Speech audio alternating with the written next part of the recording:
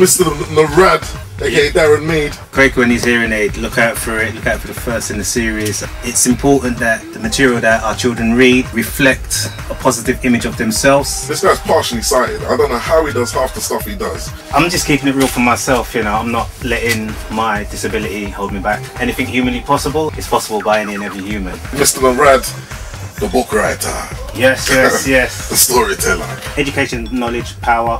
When you get to the top, you that's part of the responsibility. You have to put back in. You have to start doing Yeah. things. How do we create more fusion, you know, get people together more? books, reading, you know, families sitting down, reading together. Others have to see, you know, the way forward. What more can you say? Just hit it right on, on the head right there.